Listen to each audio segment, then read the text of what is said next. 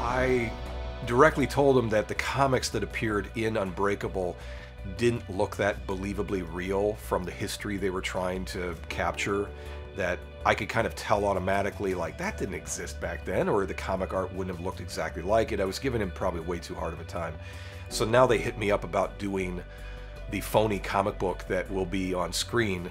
It involved even creation of a brand new character that didn't have a visual to it until Night said that it was what he was okay with, but he came up with a character name and it fits a certain thing he wants coming across in the story. So I did a completely painted illustration cover that will be meant to look like a comic book that could have come out at any point between the late 80s and probably late 90s, you know, something that's within that time period.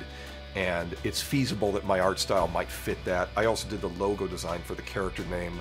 So if you see Whisper Man in the movie, I designed that. It seemed to fit this sort of weird thing of like a character who's kind of a, a puppet master of sorts. And, you know, visually I wanted to be really out there.